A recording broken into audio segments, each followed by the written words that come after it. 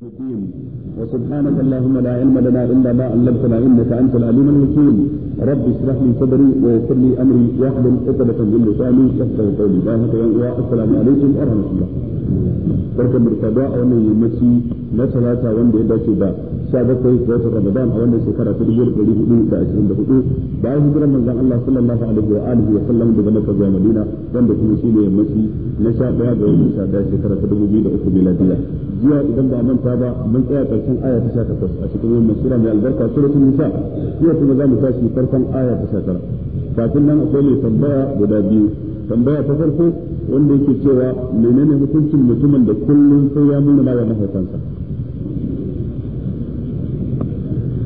Haƙƙin iyaye ya ƴan uwa haƙƙi ne mai girma a cikin addinin musulunci. Da haka ubangiji subhanahu wa ta'ala ya haɗa ambaton yi masa bauta shi kadai ba tare da an haɗa su da wani ba da kyautata ma iyaye tare da juna a cikin alkur'ani ya faɗi haka a cikin abin da ya shafi banu isra'ilawa al'ummar da suka wuce baya a kenan ya faɗi haka cikin abin da ya shafi al'ummar manzon Allah sallallahu alaihi wasallam Allah ce iz akhadna min faqa bani isra'il la ta'buduna illa Allah wa bil walidayni ihsana tun lokacin da muka rike alƙawari da bani isra'ilawa zurriyar gidan yaqub muka ce da su la ta'buduna illa Allah da'idar da za ku bauta ma kowa ba sai Allah sannan bil walidayni ihsana ku kyautata wa kaga wannan al'ummar da suka gabace mu kenan abinda Allah ya rike alƙawari tsakanin su da su kenan al'ummar manzon Allah sallallahu alaihi wa sallam kuma ubangiji ce wa abdullah wa la tushriku bihi shay'a wa bil walidayni ihsana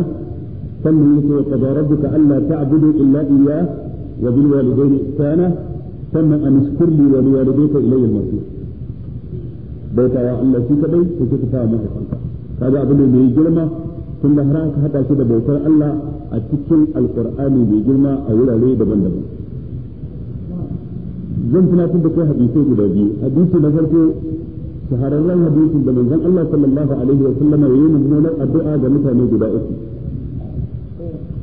Jibril ke yi mummunar addu'a gare su manzon Allah ya ce amin. Mutum na farko wanda watan ramadan ya shigo har ya fito har ya wuce ba tare da yayi aikin kirki da za a yi masa gafara ba. Malaika jibril yake Allah ya kaskantar da shi Allah ya wulaƙanta shi manzon Allah ya ce amin. Mutum na biyu mutumin da ya riski guda biyu suna da rai ko ɗaya daga cikin ba tare da yayi wani aikin da'a da za su yarda da shi ba. Irin aikin da'a da zai zama sanadiyar su gashi aljanna da tsirarsa da baita mala'ika jibril ya ce Allah ya wulaƙanta shi sai Allah ya kaskantar da mai haka din ya ce da manzon Allah sai amin. Manzon Allah kuma ya ce amin. Mutum na uku mutumin da aka ambaci manzon Allah a wajen da masa salati aka ce annabi Muhammad sai kai shiru. A madadin kai gaggawa sallallahu alaihi wa alihi wa sallam. Sai kai shiru da kace komai ba. Shi ma mala'ika jibril ya ce Allah to zalta shi Allah ya lakanta shi. Sai amin manzon Allah ya ce sai to amin. Kada wannan ko shakka babu akwai razuri da firgici a cikin wannan. Da haka ya kamata ka yi iyakacin ƙoƙarin ka nemi gafarar mahaifanka. Musamman ana cikin wannan wata mai alfarma da ramadana. Ka nemi su yafe maka cikin abin da kake musu wajibi ne tsaye biyayya ga mahaifinka ko da mahaifinka ba musulmi ba ne ballan kana kuma ya zama musulmi. Wajibi ne ya ji umarninsa matuƙar ba ya umarce shi ba ne da saba wa ubangiji. Da haka ya kamata mutum ya kiyaye wannan ƙwarai da gaske. Kuma cikin iyaye guda biyu idan an haɗu haƙƙin uwa ya fi girma sama da haƙƙin uba.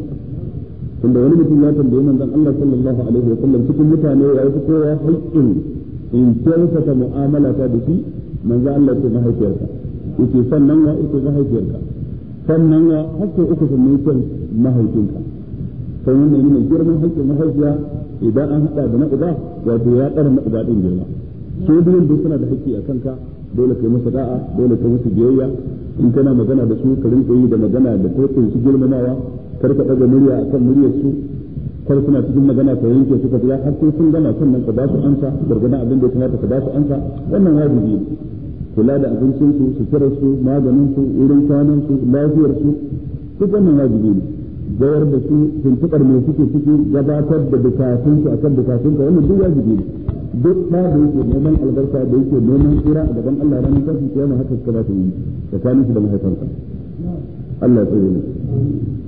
Na biyu yana magana akan cewa yin sallar dare a cikin watan ramadana tare da liman a masallaci bid'a ne ko sunna ne? Hadisi ya tabbata cikin sahih bukhari da sahih muslim daga ummuna aisha Allah ki kare da a gare ta. Tace a da lokacin sallar dare a cikin ramadana kana nasu yusalluna awza'an mutane da suna sallah kashi kashi sai ga mutum ɗaya da mutum biyar suna jami'i sai ga mutum ɗaya da mutum huɗu wani mutumin kuma ga san a cikin jinsu cikin masallaci ko kowanne suna harkar gaban take sai wata rana sai manzon Allah ce ki Aisha ɗauki tagar mata ki sa min a cikin masallaci zan yi kiyamun laili zan yi sallar da sai Aisha ta yi cikin faɗa manzon Allah tagar ma a cikin masallaci. Da manzon Allah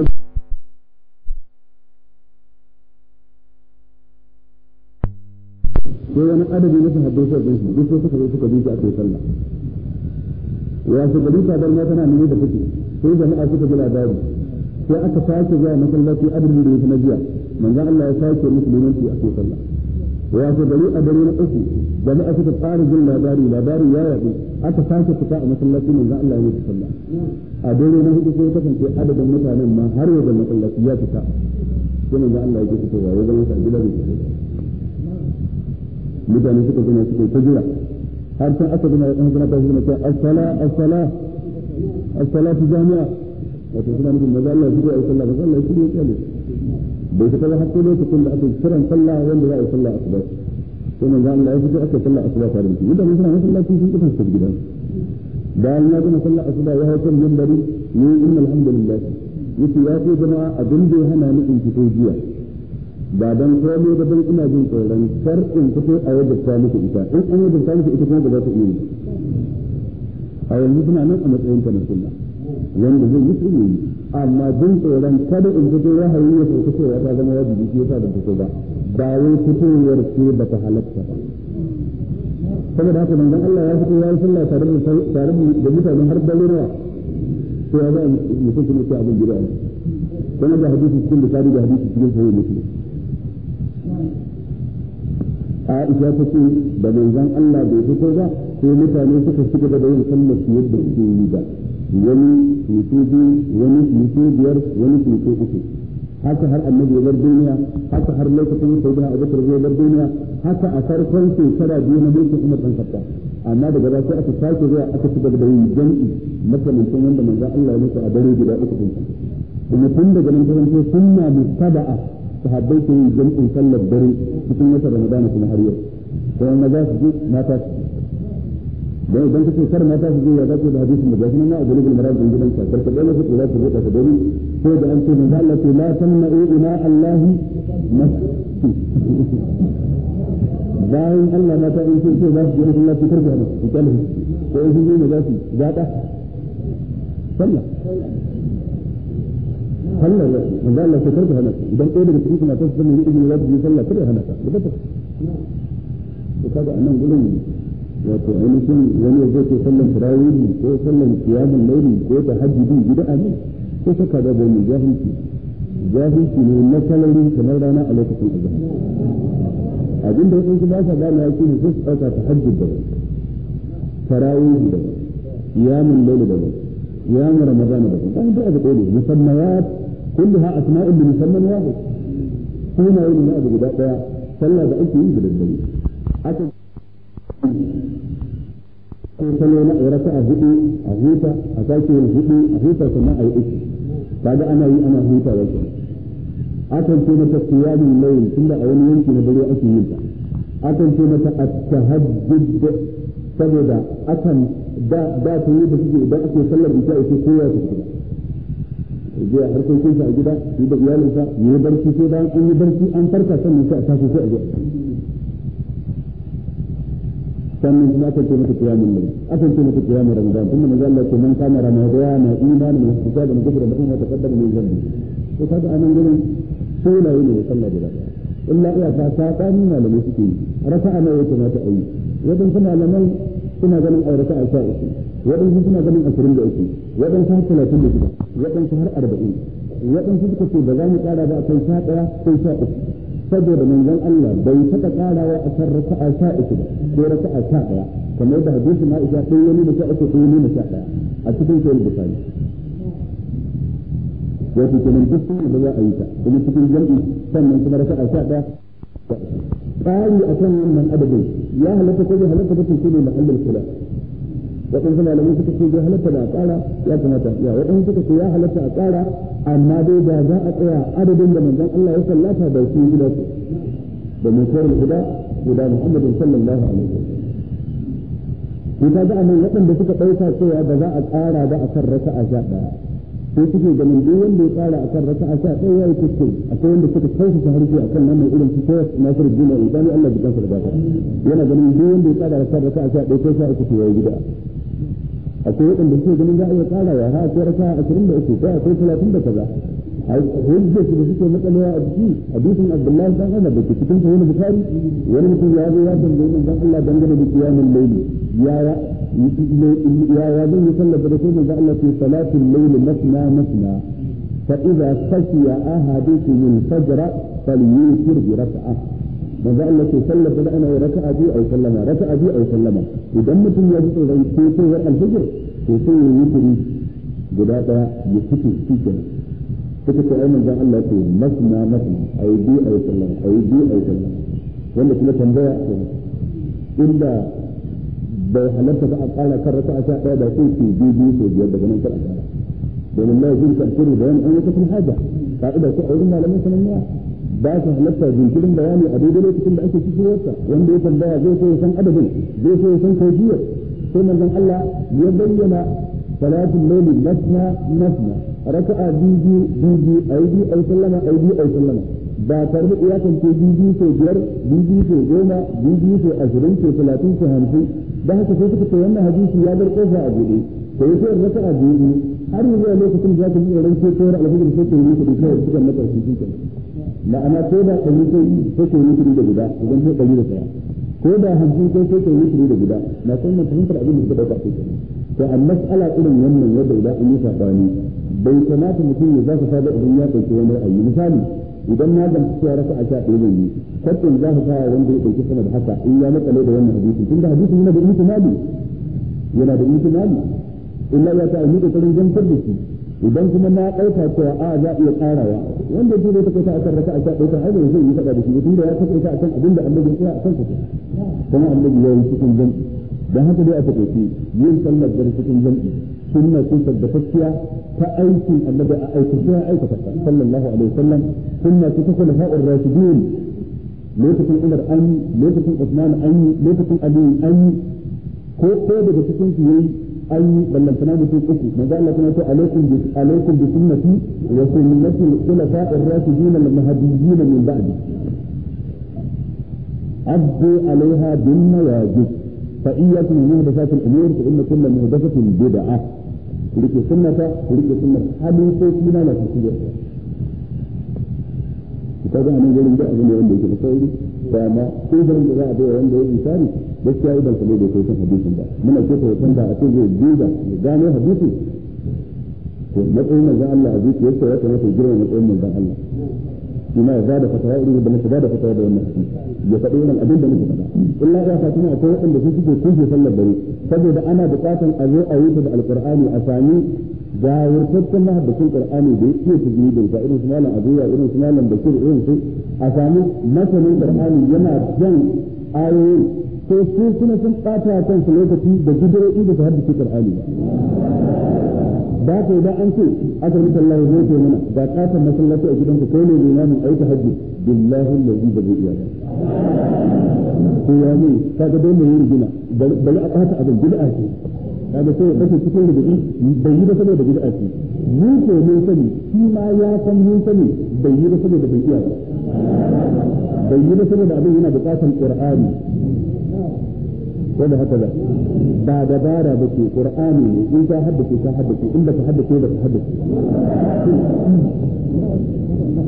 Allah nuna mana gaskiya za mu ita jinta ya nuna mana gaskiya za mu ita kauce mata sai ya gudu sai أعوذ بالله من الشيطان الرجيم بسم الله الرحمن الرحيم يا أيها الذين آمنوا لا يحل لكم أن ترثوا النساء كرها ولا تعضلوهن لتذهبوا ببعض ما آتيتموهن إلا أن يأتين بفاحشة مبينة. وعاشروهن بالمعروف. فإن كرهتموهن فعسى أن تكرهوا شيئا ويجعل الله فيه خيرا كثيرا.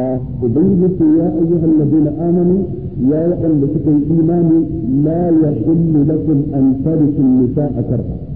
لا يحل لكم ذات لك أبريك أن ترثوا النساء كرها كتير ذات باجماتا كرها أجتا دسيلا wato ku ci gaban su irin yadda ake cin gaban dukiya ko tufafi ko gonaki ko kilofai sun so ko ba su so ba bai halatta ba ke haka ko kuma la yahillu lakum an tarku nisaa kurha a wata qira'a karhan a wata qira'a kurhan da alfarhu da alfurhu imam bukhari ke lura ta ne wato lura ne guda biyu ta ita alfarhu ta ita alfurhu ma'anar su daya kutiba alaikum alqital wa huwa kurhun lakum wa ata an takrahu shay'an wa huwa khairun lakum wa ata an an tuhibbu shay'an wa huwa sharrun lakum حملته أمه كرها ووضعته كرها وحمله وفصاله ثلاثين شهرا أو في قراءة حملته أمه كرها ووضعته كرها وحمله وفصاله ثلاثين شهرا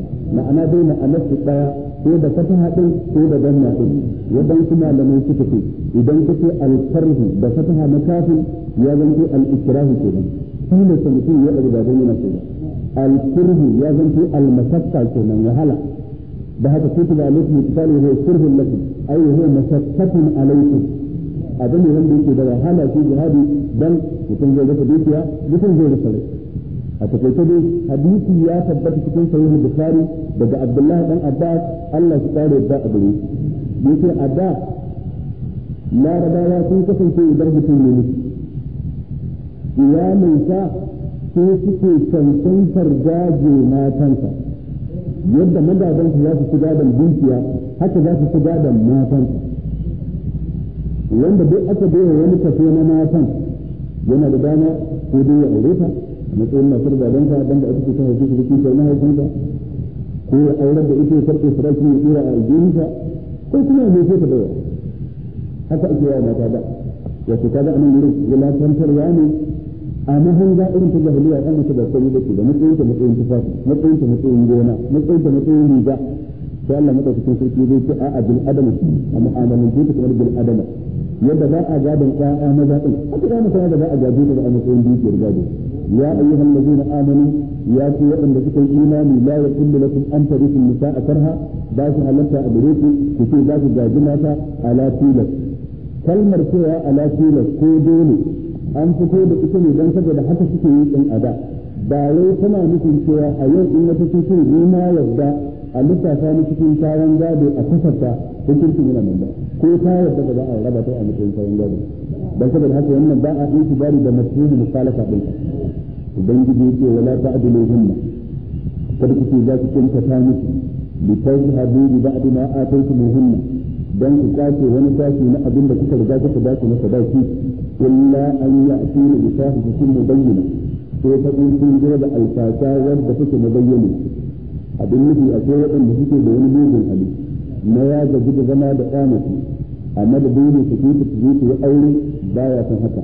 Sai ya rinka kuntata mata ya rinka munduna mata har ita da kanta ta gwamnati gara ma in fanshi kaina ta hanyar kulu'i in ba shi abin da ya kashe wajen aure na in mayar masa da sadakin sa kawai don ya fice na izinta yaji kuma yana yin haka saboda in ya fice ta fi kuɗi bisa ga zaɓin ba zai karɓi komai nata ba. To amma da ya munduna mata sai ya karɓi wani abu. Daga hannunta wanda ya kashe wajen aurenta sai kuma ya canja wata matar da wannan. Sannan ita ma wancan idan ba ta masa ba ya murgina mata ya takura mata. Har ta nemi ta fanci kanta ya karɓi kuɗinsa ya sake aure mata kaga shi kullum inda zai aure da goma duk da kuɗin auren da yake to kaga wannan bai dace a cikin haka akwai jirgina wa ɗaya mutum akwai cin mutunci addinin mutunci kun bai da wannan ba. Da haka sai Allah ce wala ta'dilu hunna. Kada ku kuntata musu shine al'adl man'ul huquq kenan. Hana su haƙƙi karku hana su haƙƙin su. Li tazhabu bi ba'd ma kuntum hunna kawai dan kuna son ku karɓo ni tashi na abin da kuke ba su na sadaki ko wajen wajen auren illa an ya'ti na bisahi ta kullu bayyana sai fa in sun zo da alfasha na bayyana malamai sun yi saɓani dangane da alfasha na bayyana waɗansu malamai suka ce alfasha na bayyana kamar matarka ta kama ta da laifin tayi zina to a nan ta yi alfasha na bayyana in ka gada mata sai ka fito ta in ka gada mata sai ka kunta ta mata hakki ta su kanta a nan gurin da ke laifi alfasa na bayyana waɗansu malamai suka ce shine annusiyar rashin da'a da mutu za ta rinka maka yi kaza ba za ta yi ba ko kuma ka yi amma ba a kan shari ba. Karki yi kaza kuma sai ta yi. Karki fita sai na fita. Karki fita yi kaza sai na biya. Wannan ta zo da alfasa na bayyana waɗansu suka ce alfasa na bayyana kana magana tana magana. Ka ce kaza ka ce kaza. Tana magana tana ɗaga murya.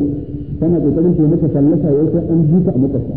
Dan ta san ko ne mutunci ne ba ka san a jikan to sai ka ɗaga murya tana hayaniya. Wannan alfasa ya bayyana yake musamman irin wannan a madadin kawai ka fice ka ta gidan lahi sai ka ci sai ka murgina mata sai ta ganna ce gara na ta kullu shine ma'anar illa an ya tula ya ta ita kullu bayyana kaga akwai adalci cikin mutunci Allah ya ce kar ka karɓa abin sai ta in ta yi karɓa karɓa inda ko wannan laifin ba wato kaga kuskure ne da karɓa zalunci ne da karɓa ka ce dole ku ta tuntu kanta amma in ta laifin ta bayar da za ta wannan adalci ne ba zalunci ta ake ba me yasa sai rashin kunya me yasa sai rashin mutunci me yasa kina tare da miji ki ce ki me yasa miji ce bari ba za ki bari ba yi ko da za ki yi ba kar ki fita ki ce na fita a wannan rashin kyauta wannan rashin kirki ne miji aiki ne ki gaba a kanki a rijalu kawwamuna ala nisa Allah ce illa an ya tuna wata hukumin mubayyana sai sun zo da alfasha mubayyana a wata qira'at mubayyana alfasha da aka bayyana Allah ce wa ashiruhun bil ma'ruf al mu'ashara shine zama mai kyau. Ashiruhun ku yi kyakkyawan zama tare da matan ku bil ma'ruf ta hanyar da ta dace a shari'anci kyakkyawar mu'amala kyakkyawar zance wannan tsakaninka da matan ka lallai kasance na gudana. Zama ka zauna ka yi hira da su wannan yana da muhimmanci. Zama ka zauna ka ji matsalolinka koke-kokenta wanda suka shafe ka ko ƴaƴanku ko wata matsala da ta shafi gidanku don ka za ta shawara ta gari. Ka ji cewa kana tarayya da ita cikin farin cikinta kana tarayya da ita cikin damuwarta duk wannan yana cikin al-mu'ashara bil ma'ruf. Akwai cikin mazaje wanda idan ya aure mace sai yana aure ta mai singil ita kaɗai daga gidansu ba ruwan su da ubanta uwarta uwanta kani duk tsoron gidan su kasa kawo shi ba ruwan shi dai na kasa kawai a amalki a more amma dan zai ta samu matsala? Akwai ita ma daga cikin mata wadda in ta aure namiji shi ta aura ba ruwan su da mahaifansa iyayensa ƴaƴansa wanda ba ita ta haifa ba ruwan ba ruwan ta da su tana gaba da su kamar annabi Musa da Fir'auna. To ya zaki suna gaba da ƴaƴa na in fahimci kuna so na kuna tsaunata wannan wata irin soyayya ce. Da daddare ku sanar da tsoro ki ce nake na kuma kuna jallaba wa dana kun hana shi abinci kun hana shi sutura kuma ya zan yi izanin kina sona ta hanya wani irin yare ne wannan? Ki faɗa mu ji wani irin wanda ji ke amfani da shi? Ma'ana kina so na baki sun kana kina so na baki girman mahaifina mahaifiyata? Wani irin soyayya ne ma'ana ni ta ita so gaya na da miya? Haka kika kalle ni na daɗo daga sanar da annabi dangantaka? Ai akwai waɗanda mutum suka kafin aure shi sai da na kwantar da kai sai da na ƙaramin murya don su yadda su bani. Sai ne wanda suke kewaye da su iyaye yanzu tsalle dangi. Da sai sai na dole sai san ba daga sana aka je ni ba. Ina da iyaye yanzu tsalle dangi. Su ga girman nawa? Yanzu girman naki. Su mutunta nawa? Yanzu mutunta naki. Duk wannan na cikin al-mu'asira bil ma'ruf to da suke wannan kuskuren ba da yansu da ɗan uwan masu. Akwai mata wanda suke wannan kuskuren da da uwan masu wannan ko ya fi da al-mu'asara bin aro jiba min dan Allah sallallahu alaihi wasallam na na kabila ta bar duniya amma ne lokaci ne a yanka rago ko a yanka dabba a gidansa a ɗauke wani abu na naman ya aikawa da ƙawayen kabila ba ta yanka ko kannanta ba ƙawayenta ma manzo Allah na mutunta shi saboda yadda ya ji daɗin zama da na kabila ballantana kuma yanka ballantana ɗan uwanka ka ga aikin ba ƙarami ba ne da yawa daga cikin mazaje abin da suke ɗauka dai na kawo buhun gero gida da buhun masara da na dawa da na sukari da shinkafa da alkama da magi da na dawa da tuka da waye duk ya kawo. Kun da ya kawo ne shi ya riga ya gama. A cikin kowane twenty four hours da yana ta da gan su biyu. In ta gan su da daddare ne ya zai barci da safe da ya tashi kuma ta daina ganin ba ya yaya sai yaya ta kwana. Da ya shigo gida kamar ana mintunan su zai fita yi sun sun da ta ƙasiyar tabarma a ƙofar gida. Shi da abokan aiki hira har talatin da biyu. Waɗansu kuma ya tafi wajen mai birnin da jayi wani ya tafi wajen mai kilisi wani ya tafi wajen mai tsire wani wajen mai balan da aikin hira da shi haƙi a biyu. Ita kuma tana zaune a gida. Wata ta kwalliya tana jiransa bayar Allah tun tana tsammanin ta shigo ta shigo har ta fara mai gaɗi yayin barci ya jika hodar da kuma a kuma sun har ka ji tafsirin da take yi a wannan lokacin. Kuma wani abin haifin ma wani ta yi huɗu ta ajiye ko take nufi ko take jira tana shigowa ko kuma ta je ta ce tsaye guda biyar an fasa. Ta ce tsini ijabi an haɗa an sake da an yi wata tuya da mai bulangu na haka da ta shiga gida ga abinci wallahi na wani na hakkar ya zai ba da lafiya gaskiya ba na jin daɗi sosai. Don da ke ba na jin daɗi yayo ne? Ya yi su jin daɗi a rayuwa. Sai nuna ba ta da lafiya. Amma ba na jin daɗi. Ba Allah ya ji jin daɗi. Da ba da kusa da yayin magana ne zai mutum ko ya mutum. Yayin da yake ba na jin daɗi sai ta fahimci ba ya da lafiya. Kaga in yake ba da lafiya an yayi ƙarya. To amma ba na jin daɗi. Ya yi jin daɗi. Ko idan sun gida jin daɗi.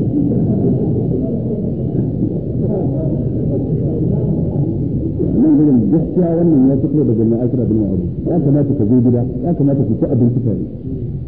Ya kamata kuna cin abinci da kuna hira ana dariya ana murmushi. In lokacin ka ɗauka ka sa mata a baki in lokacin ka sa mata a baki kun gama cin abinci manzon Allah ya nuna maka cikin sunnar cin abinci ko ka suke hannu ko a suke maka dan Allah yayi ne suke na hannu a duniyar nan? Za ka ci abinci ne ka fito ka ko ka kira mai jabi ka ce suke na hannu? Ko ya san ba ko ka suke na hannu. Duk da ka lafiya na tafi da hannu ko ka lafiya hannunka. Ka ce sun bai ya ta suke na hannu ka suke mata hannu a gana lafiya. Ko wannan kuma haka ake shekara a gana lafiya din musamman dai suna abincin dare a suke mata hannu kuma a gana lafiya har da bai ba. Wa asiru hunna bil ma'ruf.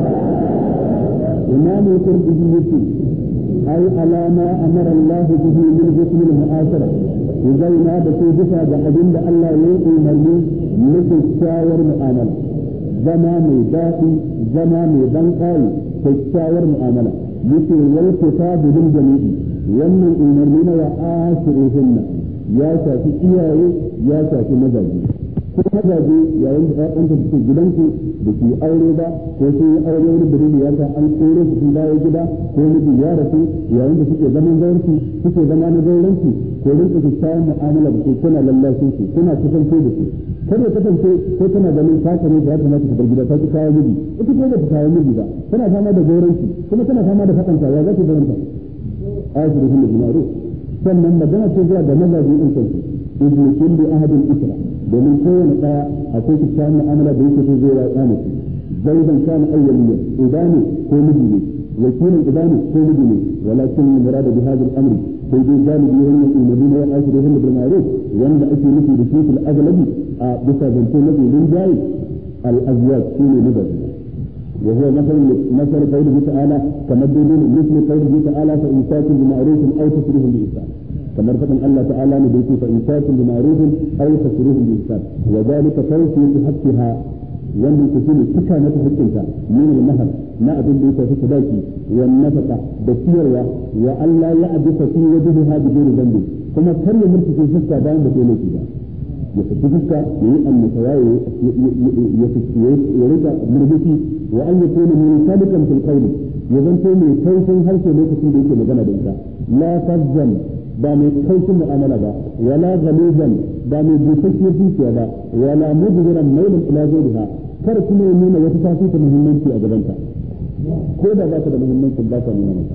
Ko ka ɗauka tana da muhimmanci. Ko ka ɗauka ita ce dubiya din dan ka san daɗi ita ma ta more a ranka ta ji abin nan da sauransu. Wal isratu abin da ake nufi da al isra al mukhalafa wal mumazaja ta fitowa tare da juna dunkulewa tare da juna. wannan shine al mukhalafa din ka ko ba da yadda za a dunkule tare da juna sai an ci tare sai an sha tare sai an kwanta tare karkashin mayafi ɗaya karkashin katifa ɗaya a fita a yi wanka tare wannan shine al mu'ashara an tafi haka wani gudu ya faɗa ne al-mukalata wal munazaja فأمر الله سبحانه وتعالى بحكم شهبة النساء Allah ya umarni kyakkyawan mu'amala da mata. Idza aqadu alaihinna in har mazaji sun kulla aure tsakanin su da matan li takuna idnatu ma bainihim wa suhbatuhum ala al-kamal dan mu'amala su kai matsayi na kamala ba matsayi na cikin kucewa ba matsayi na kamala. Fa innahu ahada lil nafsi hakan ya fi kwantar da rai wa ahnahu lil aiki kuma ya fi sa rayuwa ta daɗi. Wa hadha wajibun ala zawji. Wannan kuma wajibi ne akan dukkan ɗa namiji. Wa qala ba'dhum wa kuma malamai suka ce al-mu'ashara bil ma'ruf an yatasanna alaha kama tatasanna ilayhi. Ya rinka yin ado ita irin yadda yake so ta rinka yin ado shi. Ko da kana so yi lalle ba ta yi kitso ta sa hoda ta gyara jikinta ta yi komai to kai maka gyara maka jikin mana. Kar ka da gashi kuma ta biyu biyu da haka bai dace ba ko alama. Kada kasance haƙorinka ba ta zuwa mai yanke haƙori yana gyara maka. Kada kasance ba ka amfani da aswaki wajen kawar da datti wannan ai bai dace ba. Ya kamata kai ma kana gyara jikinka. Manzon Allah sallallahu alaihi wa sallam ya bayyana yana daga cikin fitara. Cikin kowane kwana arba'in da kasance ta ta aske gashin hanata ta aske gashin gaba. Duk wani wuri ne da suke na ƙoƙarin koyarwa. Kana yanke farce ba ka barin farce da kowa a jikinka kana kankare da kinka duk ba ka barin wannan. Ba ka barin kafar ƙarfe ko kai shi. Kana gyara jikinka ka yi wanka ka shafa mai ka yi tas da daddare ko da rana. Haka ake so. Amma dan Allah sai da wani magidan kinka ya a gida din da shi daga shi magidan shi ne daga shi yana kansa sai mutum yana daga shi sai daga zolan wanda. Da ya fari ga kamar an kwaso daga bakin sura ya sa ta da riga ko dan sa babu. Kuma kansa ya gani ko tun da riga jemi sa da ta ba ya bar jemi kamar biri don gina Allah za a zo na lafiya da kai ba daidai ba ne sai ka saje yadda yayi kyau ka saje mai yayi kyau ka saje gashin kanka dan matar ka kai ma ta ji cewa eh lalle ne kuma ba da maki kana yin wannan dan ita ma tana yin wannan dan kai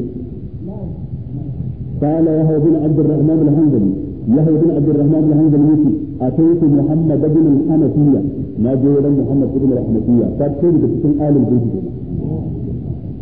ɗaya daga cikin jikokin annabi kenan jikokin aliyu bangaren fatima na je wajen muhammad bin hanafiya fa sarda ilayya fi min hafatin amra sai ya fito a cikin wata riga ja mai kyau mai ban kai wa liyatuhu takfuru min al-ghaliya je mu fa aji da turare wato ko ko na yi ya san ji amma duk fa kuntu sai nake da shi ma haza menene wannan kuma قال قلت إن هذه الملحفة ألقتها علي امرأتي ودهنتني بالطيب ai wannan rigar da ka gani na ta ce ko mun gani ita ta fara kuma ita ta sa ne wannan yayin da ko ina kike gani ne yau ta ta sa maka riga ko ta tsara maka wando ko ta taje na kai. Gidan gidan annabi da ko alin gidan ne gidan gidan fatima. Ce wa innahum na minna ma da minhum su mata irin abin da muke so a wajen su fa. Su ma suna so a wajen mu abin da yake burge talauci su ma na burge su sun da mu. Yake isa dalla ulama ila malaman na malikiya sun kafa hujja bi qawlihi ta'ala wa asrihuhunna bil ma'ruf. Da wannan magana ta wa asrihuhunna bil ma'ruf. Ala anna al mar'ata tasabilu matar ta gida idan ya kasance ayyuka sun yi masa yawa yaro ɗan ɗan yanzu yanzu da zai ishe ta ba yaya za a yi anna alaihi an ya kaduna ha kadar kifayatiha sai ya ƙaro yaro na biyu ko sun da kowa da ɗan da su amma an ce ɗaya ma idan ya mata kaɗan sai ta ƙaro na biyu don mutum take yanzu guda biyu ko mai wanki daban mai duba daban ko mai wanki daban mai kuma wanki gida daban ka ji suna lawan malikiya ne suke wannan magana قال ابن ابي ابن عطيه يقول والى معنى الايه ينظر قول النبي صلى الله عليه وسلم wannan ma'anar aya ta hanyar ta ne za a hango faɗin annabi da yake cewa tasanti ibiha wa fiha iyo wai kar ka ɗauka za ka mata wannan gatan dan ba ta laifi. Tana laifin. Amma da haka za ka mata wannan. Tunda manzo Allah ya ce in dai za ka lura da ita sai dai ka lura da ita da karkatarta. Ay la yakun minka su'u isratun ma'a yudajiha ko da tana da mummunar mu'amala sai ka ɗan jure ko haƙuri. Fa in ha kai ta mukhalafa wa biha yata istiqaq wa huwa sabab al domin idan har ya kasance sai ba ka kyakkyawar isra to wannan shi ke kawo rabuwa shi ke kawo saɓani shi ke kawo rigima har ma wata wani abu ana cewa ai kullu a taƙaice dai ubangiji ta ala ce wa ashiru kullu bil ma'ruf. Wannan ababe da muke faɗa yan uwa cikin ku dukkan wanda yake aikin sa karantarwa ne ya san cewa babu yadda za a yi a yi wata ɗaya bai ji kai mata game da mazajensa.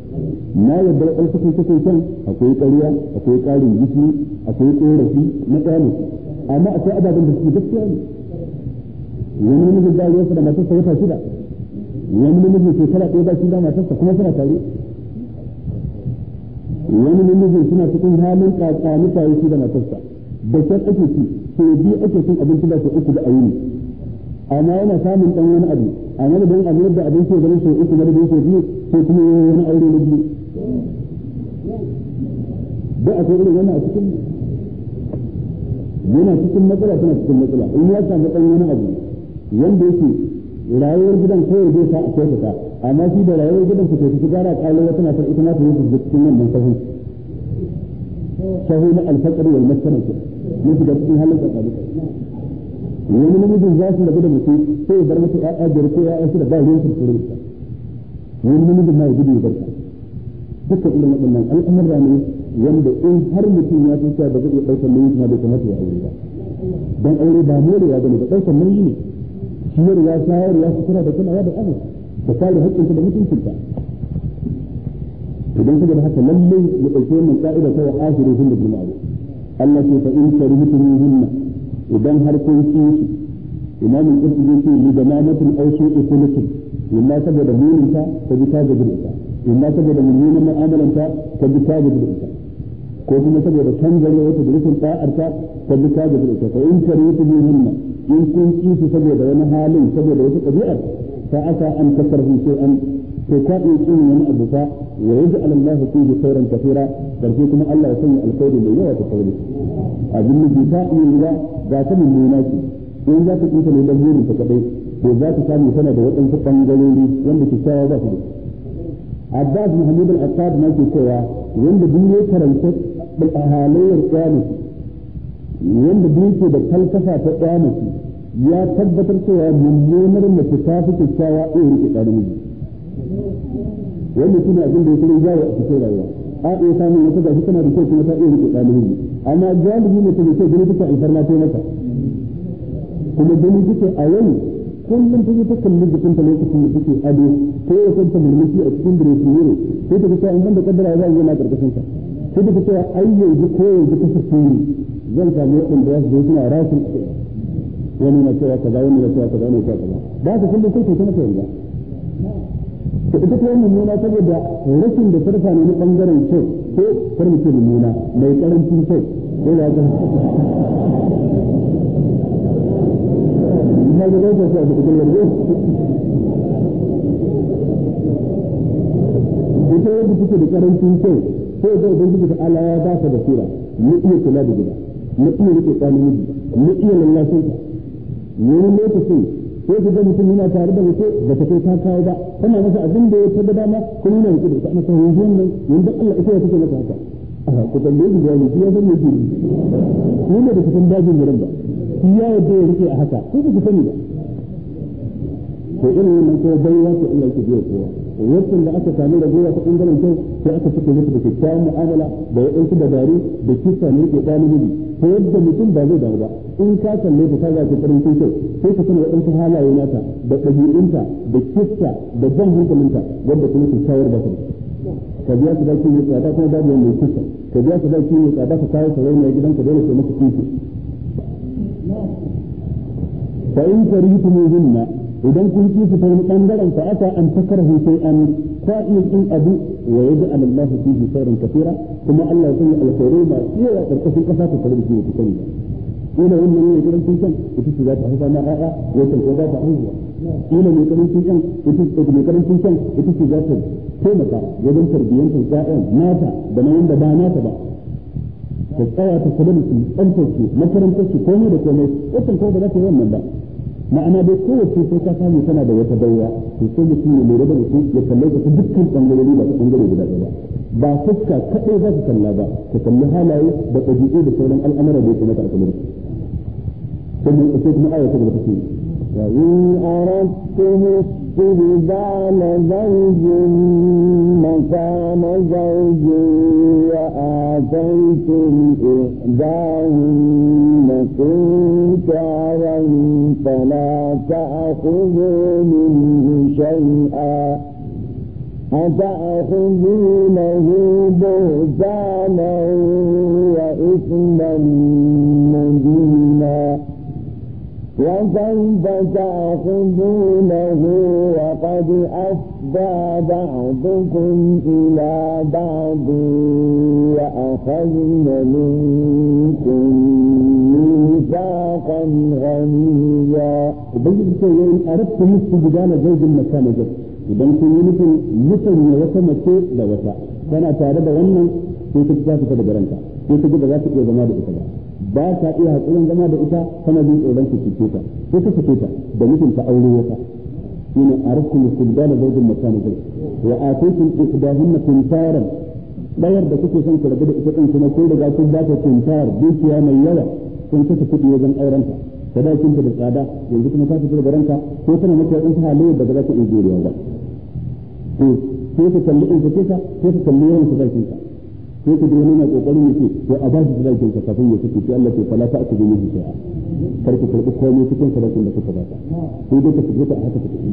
Kar ka komai cikin kayan da kai maka sai dai ka fito ta haka ka tafi da dukkan abin da kuka ce din zuciya ko da ko da ta a ta ku dole hujjatan wa kun karɓi wannan abin a matsayin da ƙage da ƙirƙire dan ba ka da ƴanci ko ba ka da haƙƙi na karɓa. Ya zama to kuma ƙirƙira ke na gudu.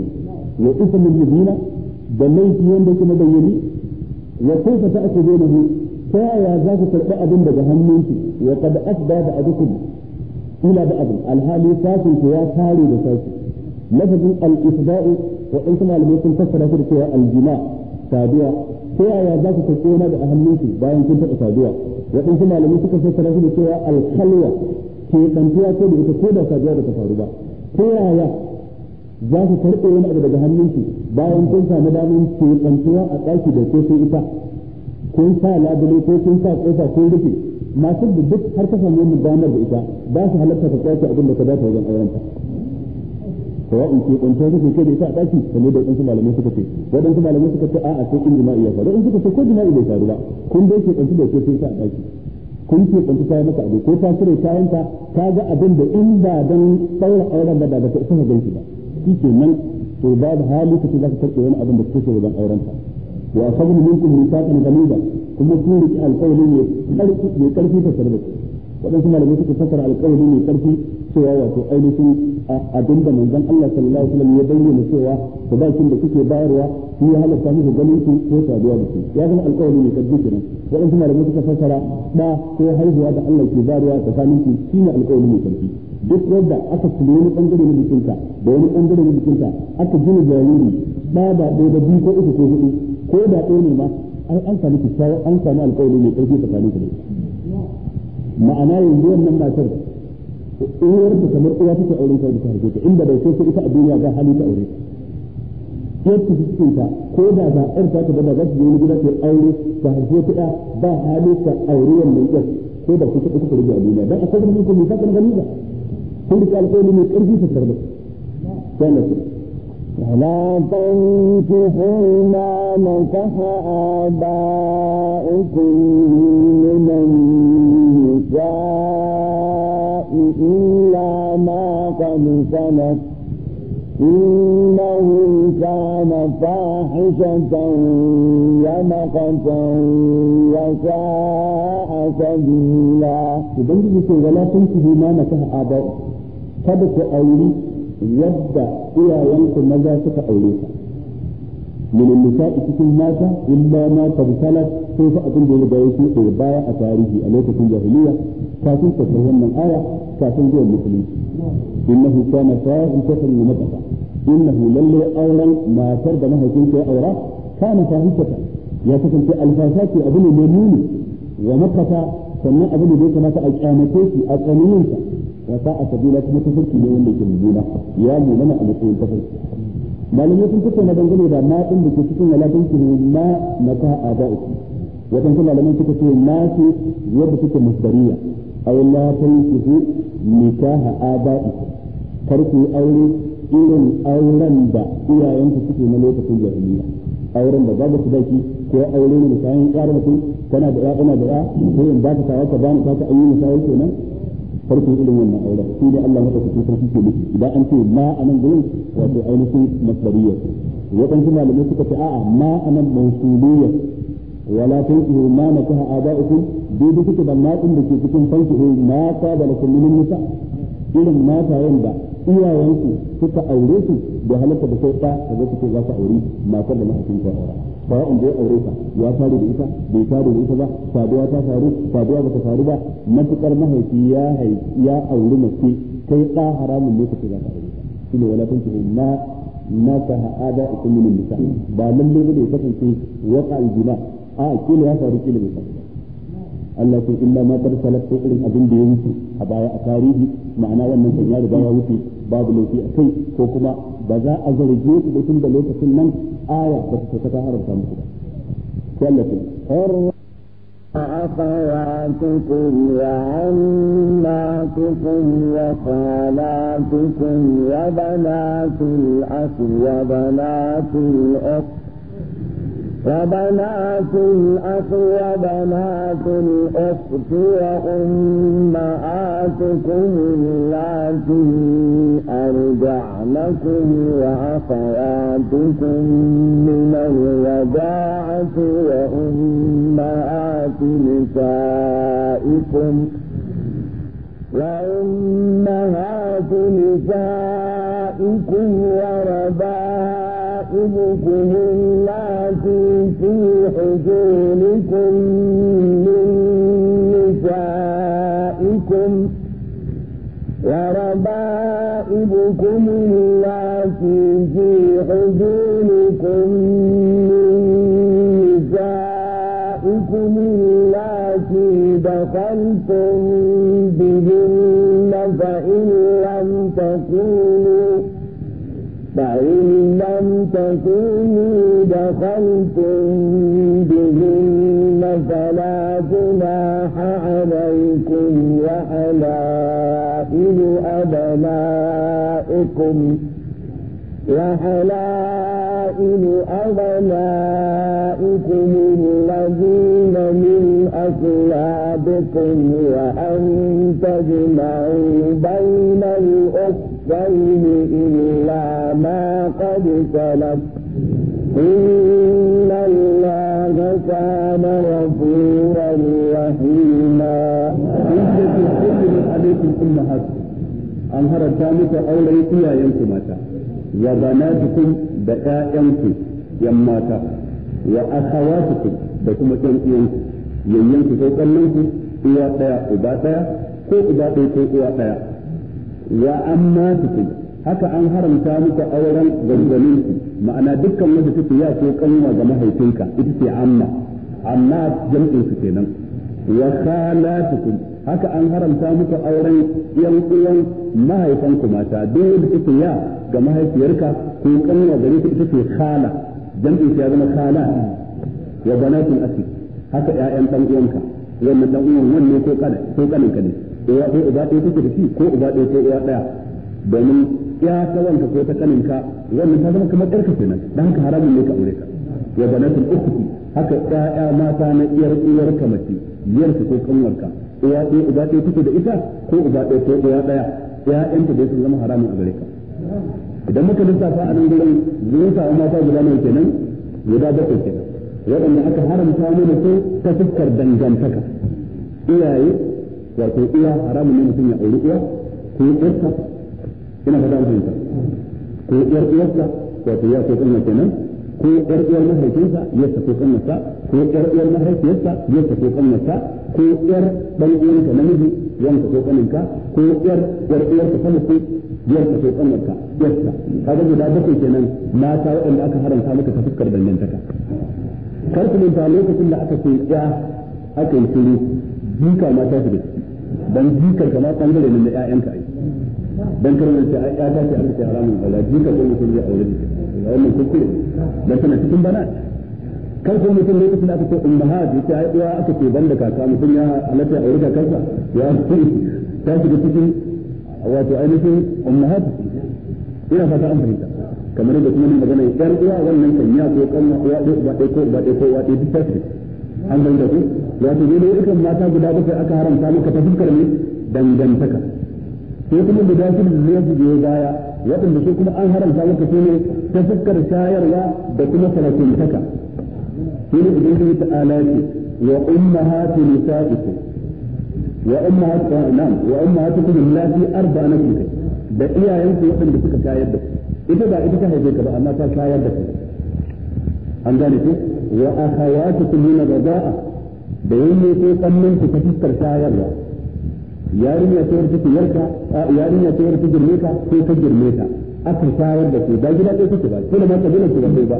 Ko da ke mutum zata ko ita farar zata amma ba ta ɗaya ta shayar da ku to ta zama daidai yar ka yadda kuke uwa ɗaya uba ɗaya. Yadda ba za ta aure ka yadda za ta aure ta. Haka matar da ta shayar da kai. Ita ma ta zama daidai da mahaifiyar ka kenan. Yadda ba za ta aure mahaifiyar ka ba ita ma ba za ta aure ta to amma wata shayarwa ce yadda take tabbatar da haramci. Da kan a farkon musulunci shayarwa da take tabbatar da haramci guda goma to ɗaya biyu uku huɗu biyar har zuwa goma. To amma daga baya sai aka shafe sai aka mai da shayarwa da ke tabbatar da haramci ta zama ko biyar. Ina fata an fahimta.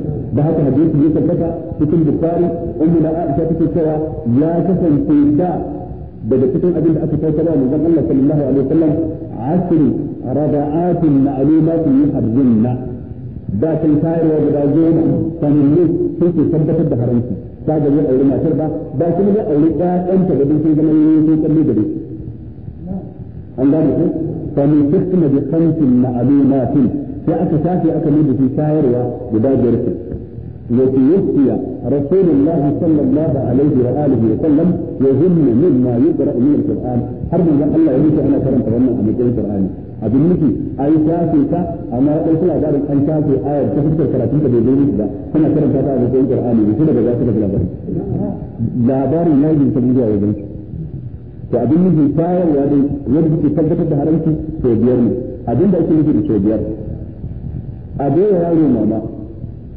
ko ya kama shi da kansa ya tsotsa ya saki dan ganin damarsa ba tare da an ƙwace ba sai dai kenan.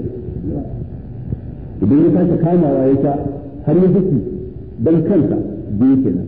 A yi haka har sau biyar to haramci ya tabbata amma idan lokacin da ya kama kamun farko yana sha aka fanta da ya sake kamawa wannan duk tukon da ɗaya ne. Sai in ya saki da kansa ne ya ne. Daya ya sake kamawa ya sha har ya saki dan kansa biyu. A yi haka har sau biyar to wannan matar ta zama uwa a gare su bai halatta aure ta ba. Ƴaƴanta sun zama yayi ko tsanne bai halatta aure su ba. Shine wa ummahatukum allati arda'anakum iyayen ku mata waɗanda suka shayar da ku wa akhawatukum min rida'a da yan uwanku ta fuskar shayarwa ba ta fuskar haifayya ba. Wa ummahatu nisa'ikum sai kuma iyayen matanku. Wa raba'ibukum allati fi hujurikum duk matar da take wato ainihin uwa ga matarka wato haramun ne ka aure ta. Ina fata an fahimta. Ka aure ta to haramun ne daga baya ka zo ka aure mahaifiyarta. Matukar ka daura aure tsakaninka da wani ko da daga baya sai ya faru ba tare da saduwa ba haramun ne ka aure mahaifiyarta. Ina fata an fahimta. Balla sana bin saduwa ta riga ta faru. Ai ba mahaifiyarta ta ganin sai kamar mahaifiyarta kenan kuma umma hadin za'ikum wa allati fi hujurikum da agololin ku waɗanda suke cikin gidajen ku min da taɗi allati da kalkun bihin waɗanda matan da suka taɓa saduwa da su suka haife ma'ana agola ita ce ta auren matarka idan ka auri mace to yarta wadda ta haifa a wani gida takan zama haramun a kan dai da sharadi da sharadin in bayan yin auren faru da iyar amma daga yin aure wani abu zai faru da ka taɓa saduwa da mahaifiyar da kai kasa ta ya halatta ka aure dan an min sa'ati min baki da kalkin bijin sai in ma sai da wanda kun taɓa saduwa da fa in lam takunu da kalkin bijin da in ko da taɓa saduwa da matayen ba fala junaha alaikum babu da ku aure ƴan fitar ma'ana idan mutum ya aure ne ko wani abu ya faru ko ya sake ta bai taɓa saduwa da ita ba ya halatta auriyarsa amma sai ya halatta auriyarsa ya halatta. To saboda ne kenan da uwa da ɗa ya ta sa kuri kenan. Ma'ana ita uwa idan ka aure ta ba abin da ya faru ka sake ta wata za ta iya yajewa ka aure ita ba amma wato ainihin ya ba za ta yadda ba ka je kuma ka aure uwarsa amma ka aure ɗan ta yadda amma ka aure uwarsa sai ta kishi da uwarsa amma za ta iya yajewa ba za ta rikici da uwarsa ba. Ina ba za mu bayyana إن فإن لم تكونوا دخلتم بهن فلا جناح عليكم وحلائل أبنائكم حلائل جمع لنا حليلة حليلة إذن ما ترأولي وحلائل أبنائكم da matayen ƴaƴanku maza alladina min aslabikum da wanda yake na cikinka a nan gani matar da ɗanka ya aure ta haramun ne daga ba sai ka je ka aure ta sawa'un ya rabu da ita ko bai rabu da ita ba sawa'un ya taɓa saduwa da ita ko bai taɓa saduwa da ita ba haramun ne ka aure ta ina fata an fahimta dan matar ɗanka da aka ce min aslabikum dan a fitar da ƴaƴa wanda kuke ba sa cikin abna usaidi kamar da wanda kai tabannin sa kai samun su kai maraya ne sai kai ne sai ɗanka ake kiran shi da sunanka. Wannan baya daga cikin mutunci ƴaƴa ta fuskar gado ta fuskar haramcin aure. Ina fata an fahimta. Da haka ne dan Allah yayi tabanni da zai bin harisa ya ce kai ɗana ne zan gaje ka ta gaje ni. Daga baya Allah ya rufe wannan al'adar. cikin rusa al'adar sai ya zanto an halatta manzon Allah ya auri ya ya auri mutum da zai bin harisa ya aura. Ita ce zainab bint da falamma qada zaidun minha wa taram zayyadnakaha likai la yakuna al mu'minina harajun fi ajwaj adiyaihim idza qada minhunna wa tara wa kana amru mas'ula. Wannan shine hikimar cewa min aslabikum ya'yan ku da kuka haifa. Kaga a nan danka da ka haifa yake da ciki jikanka dan danka ko dan yarka shi ma dai da min aslabikum a cikin ma'anar aya ɗin. A babin wannan na maganar hurma ta ɓangaren auratayya. Wa an tajma'u bainal ukhtayn. Haka haramun ne ku hada yin uwa guda biyu ya da kanwa lokaci guda. Sai ne dan ka auriya bayan ko da kuka auri kanwa ka auri kanwa bayan ko da ka auriya ko ka auriya bayan ta da suka auri kanwa ko ka auri kanwa bayan ta da amma ka hada su lokaci guda sai kici haramun ne. lokacin da ba ka yi ka iya auren tsayar amma ka haɗa su ne wa an tajma ubainan ku sai illa ma kan salaf sai dai abin da yake a baya kafin saukar ayar wannan da kuka nuna inna allaha kana ghafurur rahima lalle ubangiji da Allah ya kasance ghafuran mai gafara sannan kuma rahimun mai jinki to ne da muka da guda ba sai mun ta fuskar dangantaka. Sai kuma guda nawa? Guda shida sai kuma ta fuskar shayarwa da kuma farkunta to amma sai na guda bakwai ne sai dai suka da bakwai din sunna ce ta kawo. Shine hadisin da manzon Allah ke cewa ba a haɗa mace tsakaninta da kanwar mahaifinta ko tsakaninta da kanwar mahaifiyarta. Ma'ana idan ka aure ɗan ki tare ko da kanwar mahaifiyarta ko yarta da halatta ka aure su ba. Ko kanwar mahaifinta ko yar mahaifinta da halatta ka ɗauko ta ka haɗa su je su titi tare da bai halatta amma idan ka fi ka iya aure ɗaya. Amma ka haɗa su shi ma kalmar ne kenan. Aljamu shine almamnu amma idan firrika bainahum ma fata idan an raba tsakanin su ka aure kan sannan ka fi ka aure wannan babu ne to kaga shi ne cikon na bakwai. Kaga mata adadi goma sha huɗu kenan waɗanda aka haramta auren duk matar da ba za su cikin cikin wannan jerin ba ma'ana ya halatta ka aure ta. In ka ga baka aure ta ba to sai dai kawai ko ka karanta a mijinta ko wani abu ko wani abu ko wani abu. Kaga a cikin ba matar abokinka ma'ana abokinka zai iya cikin mutum ka aure ta kenan.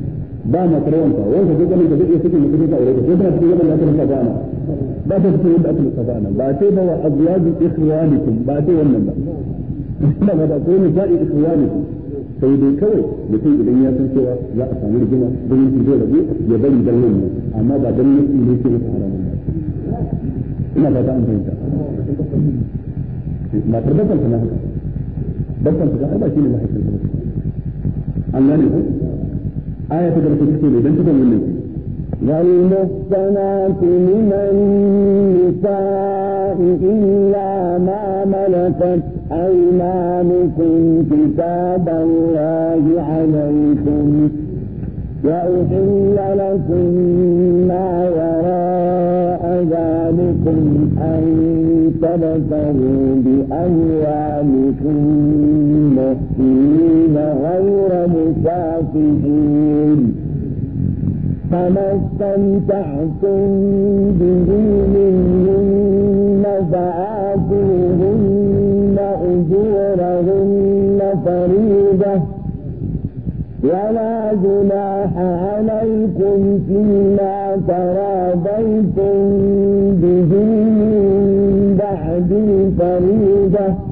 إن الله كان عليما حكيما. ولد الصلاة لما لم يذكر في معدوك لأكم حرمت عليكم أمهات وبناتكم وكذا وكذا. ولديه بنات من النساء حتى أن أنهار أنتانيك ما ثم ذا جيت كنا جاجيك كتن ماتا بل ما سبسك تنزل حرام أن يتبسك بك في ذاك قول أولياء. في النبي يتبسك في إنتاء جدة. من النساء كتن ماتا illa ma malakat aymanukum sai fa abin da daman ku ya mallaka. Ma'ana mace ko tana da miji sai aka je wajen yaki sai ga sai miji da kafiri ne. Kuka ci su da yaki aka taho da ita a matsayin baiwa sai ku yanga. Shikenan kama ta a ƙarƙashin bauta ya kashe auren ka tsakanin da mijinta. Yanzu da aka baka ita a matsayin koyon gato baiwa ta faɗo cikin rabanka na ganima ya halatta saduwa da ita idan ta yi istibra'i. Shi ne shi ne ɗaya shi kenan. Ba mu ganin cewa wancan ya fice ta ga ta ba domin kama ta a matsayin bauta ya kashe auren ka tsakanin da mijinta wanda yake da musulunta an gane ku? Shi ne ba nan galmi kuma ta minan nisa haka haramun ne matayen da suke da mazaje ku ce za su ko ku ce za ku aure su. Illa ma malakat aymanukum sai fa abin da da muke mallaka a haulan yaki wannan ka aikin zama naku idan sun yi istibra'i. Kitaballahi alaihi wannan hukuncin Allah kenan da ya zartar kan كتاب في هنا لكم مخصوص هنا أبدا أكرم يتأكل في هنا مخصوص في أكثر ذلك وأحل لكم ما وراء ذلك. ألا يا أهل السامس ما كنت ضد وقت النمو أن تبت دين لأموالكم كدوت من يوم فهي الكفة كبيرتي